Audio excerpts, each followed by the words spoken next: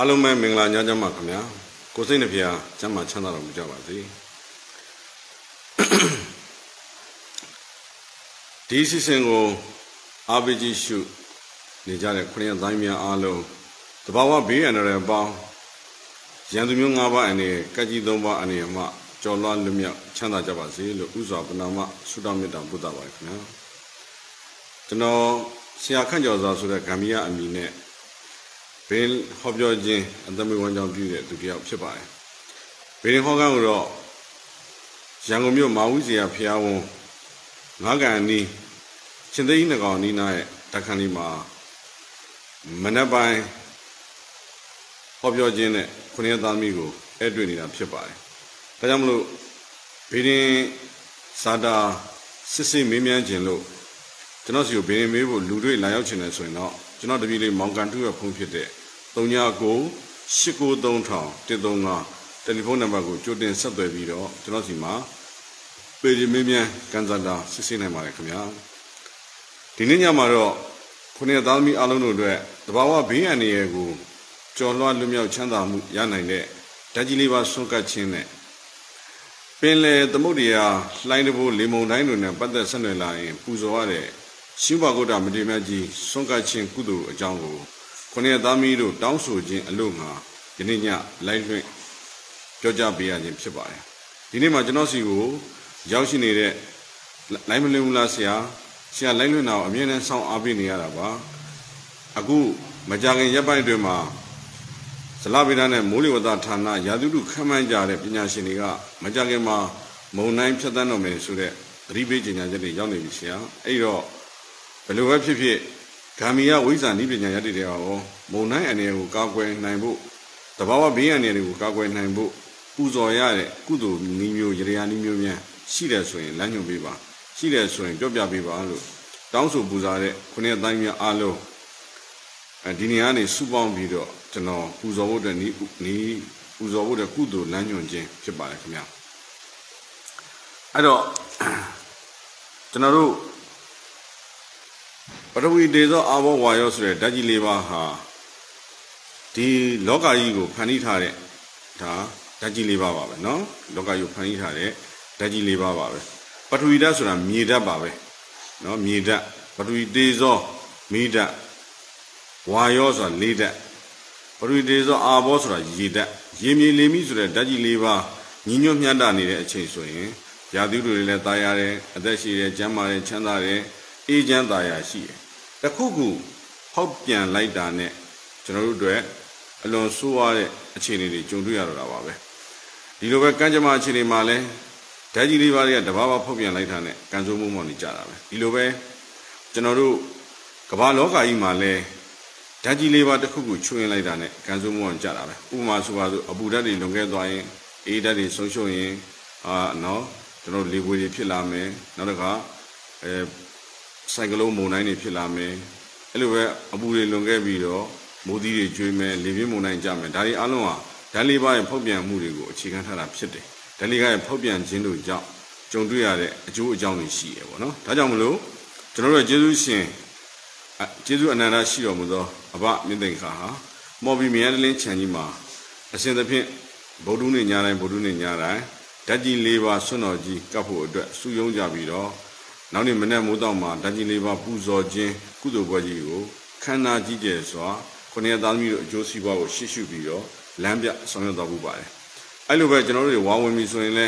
ဝါစုလပြည့်နေကနေသတင်းကြိုလပြည့်နေတိုင်အောင်တဝါရင်းလုံးဓာတ်ရှင်၄ပါးဆိုတဲ့ဓာတ်ကြီး၄ပါးပူဇော်ခြင်းကိုလည်းအဋိဌံအဖြစ်နှစ်စဉ်နှစ်တိုင်းဆောင်ရွက်ပူဇော်ရတာရှိပါတယ်။အခုလိုမျိုး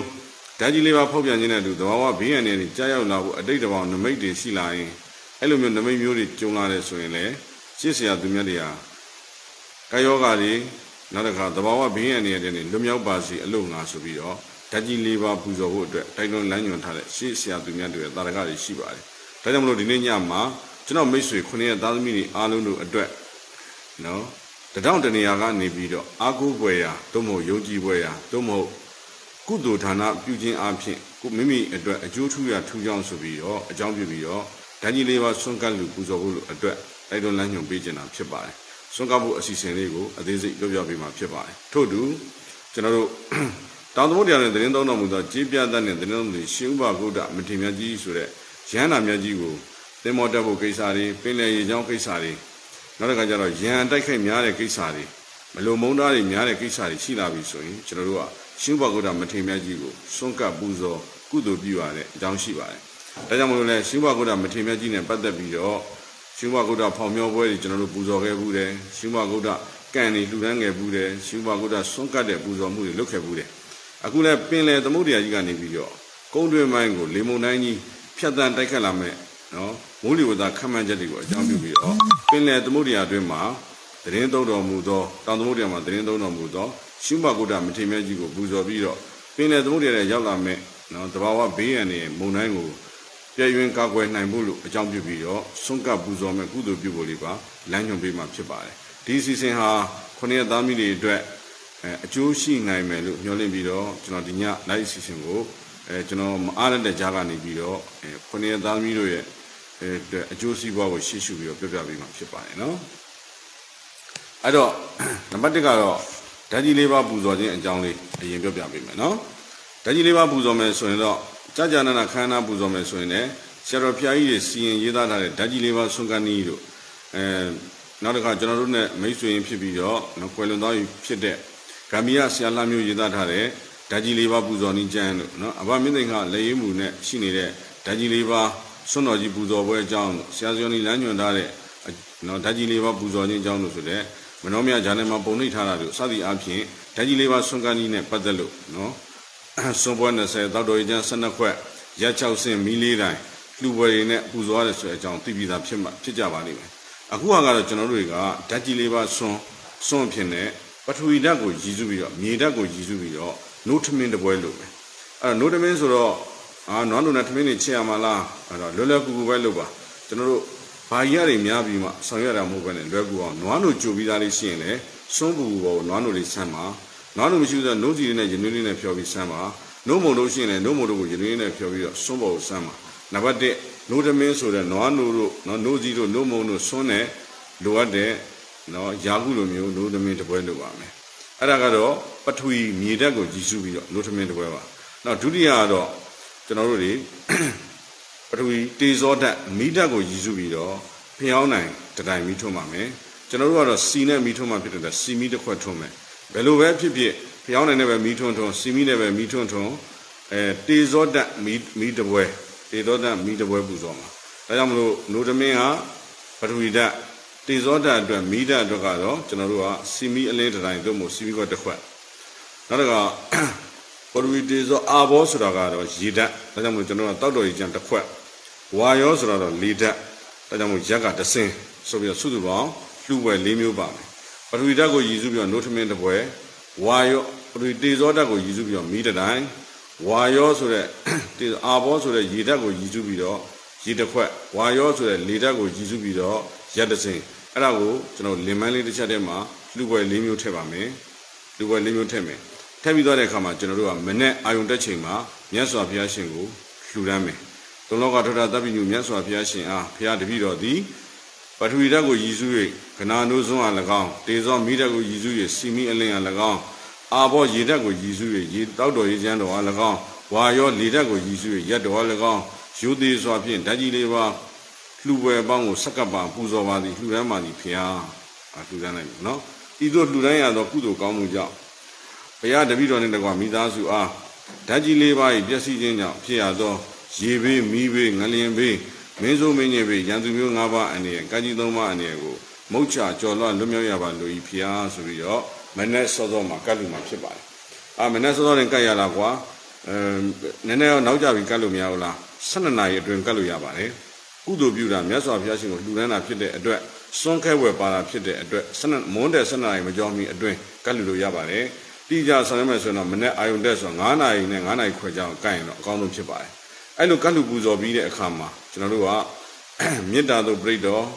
မင်္ဂလာတို့ပြိတ္တောစသည်အဖြစ်ပြိဿတတုတ်ထဲကဒါမှမဟုတ်24ပစ္စည်းပဋ္ဌာန်းတွေကမိမိကြီးညိုပူဇော်လိုတဲ့နော်ပူဇော်လိုတာကိုရွတ်ဖတ်ပူဇော်မယ်အာတို့ကတော့မေတ္တာသုံးခရီးပဲရွတ်မယ်ဆိုလည်းရတယ်အာတန်ဗုဒ္ဓပဲကိုးကောက်ရွတ်မယ်ဆိုလည်းရတယ်ညီတို့ပဲဖြစ်စေကမူမြတ်စွာဘုရားရှင်ကိုတရားရွတ်ဖတ်ပူဇော်ပြီးတော့ရှ िख ိုးတယ်ဆိုတဲ့အကြောင်းပူဇော်မှာဖြစ်တယ်အဲ့လိုပူဇော်ပြီးပြီဆိုတာနဲ့မြတ် မြတ်စွာဘုရားရှင်ကိုကတ်လူသောဓာတ်ကြီးလေးပါဆွမ်းအားကုန်းတဆုံကုန်းပေါ်မှာရှိရဲ့လူနာပုဂ္ဂိုလ်အလုံးစုံပေါ့မြေတဆုံရှိသောပုဂ္ဂိုလ်များရေတဆုံရှိသောပုဂ္ဂိုလ်များမီးတဆုံရှိသောပုဂ္ဂိုလ်များလေတဆုံရှိသောပုဂ္ဂိုလ်များဤဓာတ်ကြီးလေးပါးနဲ့ဆက်နွယ်နေကြသောပုဂ္ဂိုလ်အားလုံး30ပုံသားတို့အကျွင့်ကြံမရှိရအမြပေးဝေပါတယ်ဆိုပြီးတော့ဟင်အမြဝင်မယ်အမြအမြအမြသာဓုသာဓုသာဓုပေါ့နော်အဲ့လိုအမြဝင်မယ်အမြဝင်ပြီးလို့စွန့်တော်စွန့်ပြီဆိုတဲ့အခါရောက်လို့ရှိရင်တော့ကျွန်တော်တို့ကစွန့်တော်မူတဲ့ရေကို ကျွန်တော်တို့ရဲ့အိမ်ရှိတွေဆိုင်ရှိတွေကျွန်တော်ရှိရပရဝဏ်တွေတိုက်ခန်းတွေဆိုတိုက်ခန်းမျက်နှာသားတွေအဲ့ရေတော်ပတ်ဖြန်းလိုက်မယ်အဲခဏနိုးဆုံးရရက်ကြရတော့ကျွန်တော်တို့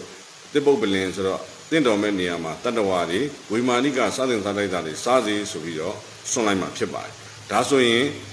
တဘာဝဘေးရန်တွေကိုကာကွယ်နိုင်သောဓာကြီးလေးပါဖောက်ပြန်ခြင်းကြောင့်ကြုံတွေ့နိုင်သောအခက်အခဲအန္တရာယ်တို့ကိုလွတ်မြောက်နိုင်သောဓာကြီးလေးပါဆွန့်ကပ်ခြင်းကုသိုလ်ပြုခြင်းဟာပြည့်စုံပါပြီ အဲအဲ့ဒါနဲ့အတူတူကျွန်တော်တို့က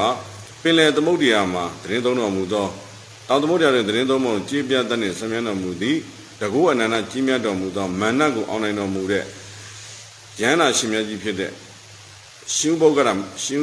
ရှင်ဘုဂ္ဂမထေရမြတ်ကြီးကိုကျွန်တော်ဆွန့်ကပ်မှာဖြစ်ပါတယ်ရှင်ဘုဂ္ဂမထေရမြတ်ကြီးကိုဆွန့်ကပ်တဲ့အခါမှာလည်းကျွန်တော်တို့ကဓာတ်ကြီးလေးပါဆွန့်လှူဒန်းမှာဖြစ်တယ်ဒါကြောင့်မို့လို့ မြတ်စွာဘုရားရှင်ကိုကတ်လူခဲ့သလိုပဲရှင်မဂုဒ္ဒရဟန္တာမြတ်ကြီးကိုကနာနုစွန်းတပွဲပထဝီဓာတ်ကိုရည်စုပြီးတော့เนาะနောက်တစ်ခါအဲစီမီတတိုင်းနောက်ပြီးတော့တောက်တော်ရည်တစ်ခွက်ရတစင်ဤလေးမျိုးကိုလည်းရှင်မဂုဒ္ဒရဟန္တာမြတ်ကြီးကိုရည်စုပြီးကတ်လူမယ်ကိုယ့်အိမ်မှာရှင်မဂုဒ္ဒရဟန္တာမြတ်ကြီး